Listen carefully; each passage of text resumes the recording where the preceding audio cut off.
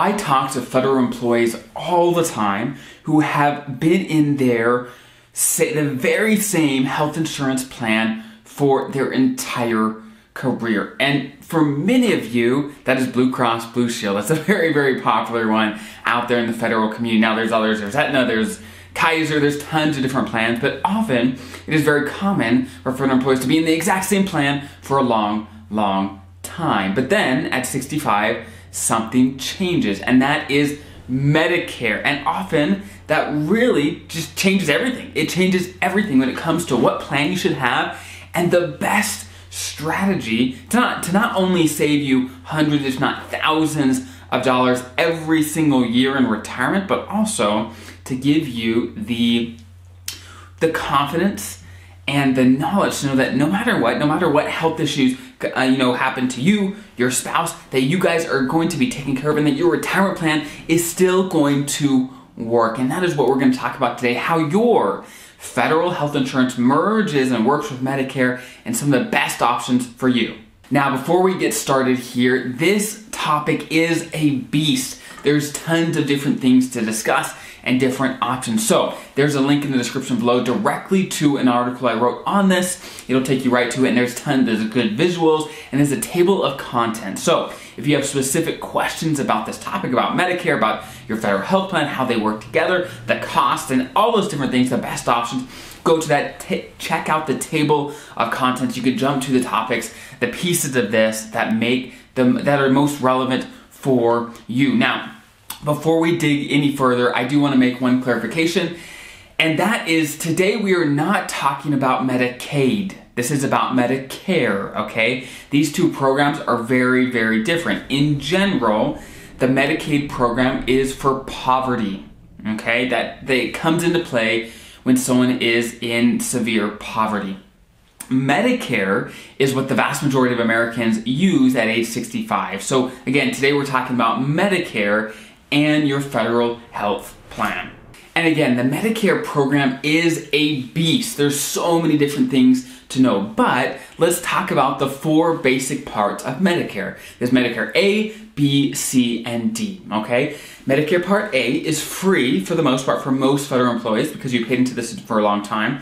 Medicare Part B is not free, right? Medicare Part C is if you get some sort of supplement advantage plan. That's that's um, Part C, and then Part D is prescription drugs. So for you as a federal employee, Part C and D really don't come into play. First, Part D is prescription drugs, which your federal health plan already covers what Part D Part D would cover, and you're not going to need a supplement plan because you already have your federal health insurance right? So C and D really don't come into play. So today we're going to be focusing on parts A and B because those are the parts that are really relevant for you. And so we're going to start off with Medicare Part A. And Medicare Part A starts at 65. That is when you're first eligible for Medicare Part A. Now, like I was saying, every paycheck, you could probably see it on your pay stub, there's a part of it that goes to, towards Social Security and Medicare. So once you turn 65, then it's free. You get it automatically, but of course you paid for it over the course of your career. But once you're retired, of course, it becomes free at age 65. So um, basically, for federal employees, it's a no-brainer, right? It's free, and so when you turn 65, whether you're working or retired, it really doesn't matter. You want to enroll in Medicare Part A because why not? It doesn't cost you anything. Definitely, definitely get enrolled. There, it's a no-brainer there. And when it comes to the types of things that Medicare A and Medicare Part B cover, like what they cover, the different parts. I'm not going to dig into this because it's hard to do it, whether over the podcast on YouTube, hard to see and p- visualize all these things. So definitely check out the article. Hit the link in the description below. It'll take you to the article and it breaks down the specific things that these different parts cover so that you know what things Medicare, Medicare might cover and what things your federal health insurance might have to cover. Now, when it comes to getting on Medicare Part A, there is a window, a window of time of seven months around your 65th birthday. So, how it works, let's say um, your birthday is in January when you turn 65, okay? So, the three months before January, you can enroll, and the three months after January, you can enroll. So, including the month that you turn 65, that's a seven month window that you are eligible and you can you can enroll into Medicare. So that's if that's coming up for you, put in your calendar three months before the month you turn 65 to start that process. Go to Medicare.gov and definitely start that process to enroll. And because Medicare Part A is free, it's really a no-brainer. So it's not a hard decision on, of course, when to get it or if to get it or not, right? Because whether you're working or not, you want to get it, and it's free, so you definitely should. There's there's no reason not to. But Medicare Part B is really the one that gets controversial because first, it's not free; it costs money, and do you need it or not? That that's the big big question. Now, when it comes to again what is covered under Part B, what, what services are covered, go to my website. There's a long list of things that are covered. Um, but again, what we're going to focus on in this video and podcast is okay, what does it cost? Right? What is the cost? Well, the cost is actually not as clean cut either because it's going to depend on your income. And actually, every year, the cost is going to increase with inflation as well. But for now, if your income is in the lowest bracket, and if you again go to my website on the video, I'm gonna I'm gonna pop up a chart of um, the cost for 2022. But long story short, um, for many federal employees, you're going to be in the lowest bracket, which is about $170 per month per person. Okay, so again, when you're looking at the chart, make sure you understand that is per person, not per couple. Okay, so if you and your spouse have to be on Medicare Part B, then times it by two, right? So over time, it can really add up because for both of you, you have to pay for it. And for those of you that haven't had a chance to click the link below to go to my website to check out that article and see to see the chart of the different costs, well, the long story short is the lowest rate that you're going to be paying is about $170, and that's 2022 rates, okay? And the highest is 500 some dollars, right? So it can get very, very expensive. So if you're in the highest income bracket and, you know, it's you and your spouse, and that's a thousand bucks for Medicare Part B per month. Per month. So that really, really adds up. So first you want to check out that chart and say, okay, where am I at? What is my income going to be at 65 and in retirement? What is that cost going to be for me? And of course, the big question is, okay, now that we know a little bit about the cost, am I required to get Medicare Part B? Is this a requirement? Do I have to? And the answer is no, you don't. Generally, as a federal employee, there's no requirement to get on Medicare Part B, but, but, many times you, you really want to. You really, you really are going to want to. Now, let me let me kind of put an asterisk here in in this in this um, whole thought. Okay, if you're on TRICARE, if you're covered under TRICARE and you want to keep TRICARE um, after you're eligible for Medicare 65, then you are required to get on Medicare Part B. But if you're not on TRICARE, if you're not a military retiree with TRICARE, then you don't. That doesn't apply to you. But again, if, if you're on TRICARE, you are forced, forced, forced is a strong word, but you are required to get on Medicare Part B and A um, starting at 65, and then of course you got to pay those premiums for Part B as well to keep TRICARE into retirement.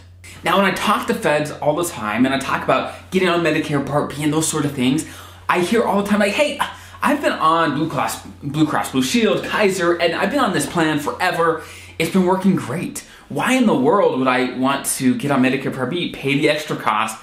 Uh, what what's in it for me? Why in the world would I want to do that in retirement? And really, there are three main reasons why you probably should at least consider it. At least consider it, if not actually do it, right? For many feds, it makes sense to get on Medicare Part B. You want to make sure you consider all the different ramifications if you don't, okay? Number one, as you get older, 65 plus, the odds of you having some serious medical issues or your spouse medical issues and expenses just go up, right? As someone ages, the medical expenses on average goes up. Maybe that, that won't happen to you. We don't know. You just want to make sure that you have plenty of coverage and having Medicare Part B and your FEHB really can create a really comprehensive plan so that when you go into the most expensive medical time of your life, that you have a super comprehensive plan that has very limited out-of-pocket costs that can really help you so that no matter what, your, your retirement plan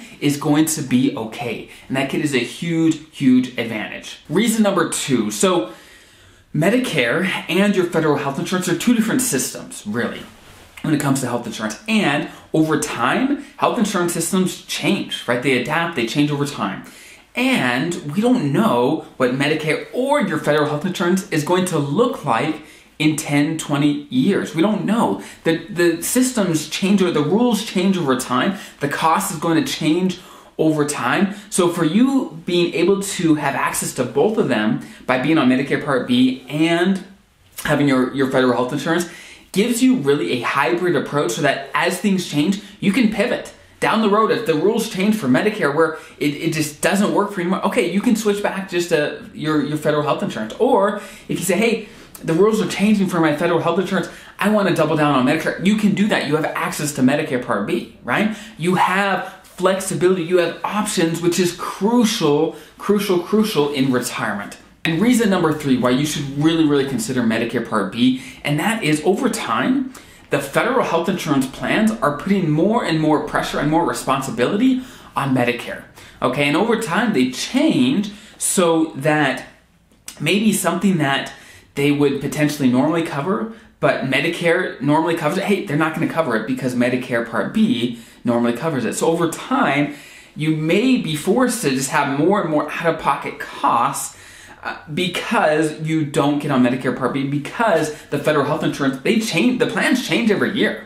They do, right? And over time they often change so they don't cover as much as what Medicare Part B would. And I've heard many, many stories actually where someone gets, let's say, a surgery, right, at age 64, right, and their federal health insurance pays for it all, they don't have to pay a dime, it's great, and they maybe to get the exact same surgery, maybe for the other arm, whatever, once they are 68, once they're past Medicare age, and the plan has changed. And the, the plan expects Medicare to pick it up, but if you're not on Medicare Part B, then it's not going to be quite the same. So check with your plan, see what they say, and again, the plan changes over time. You want to be every open season, you want to make sure, okay, in the new year, what what is changing in the plan? Is there anything that I is not going to be covered that was covered?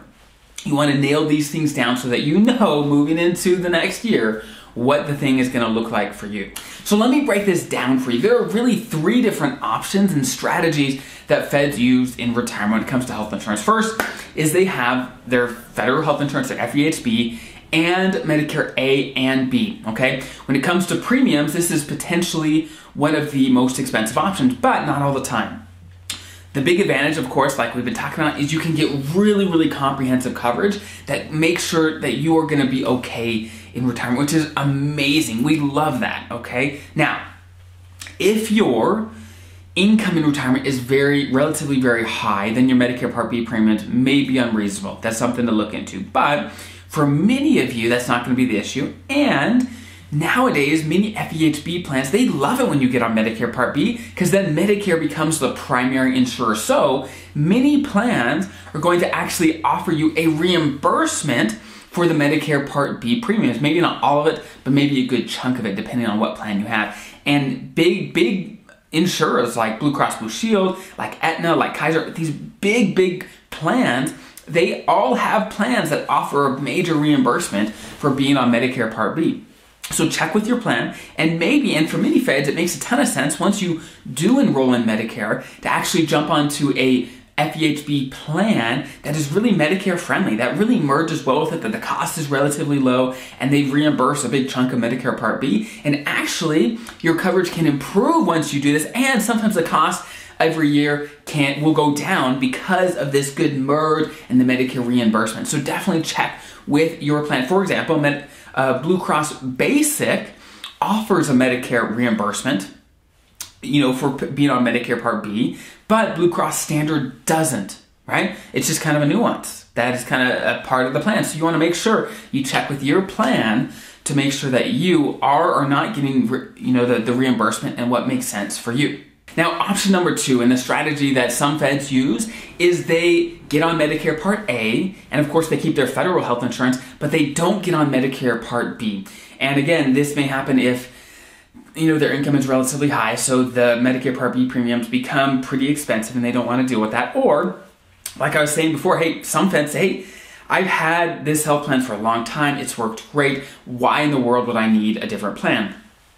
Those are some of the, the reasons. Now, if this is you, um, there's a couple things to think about. Okay, first, you want to make sure that you never plan on going on Medicare Part B and you're okay with that, okay? Because if you do not get on Medicare Part B right when you're you know eligible to enroll, then there's a penalty, a big penalty for not taking it right away. And it's basically a 10% penalty for every year you delay enrolling that you could have delayed or you could have enrolled. Okay, so for example, let's say you're retired um, and at 65 you get on Medicare Part A but not Part B.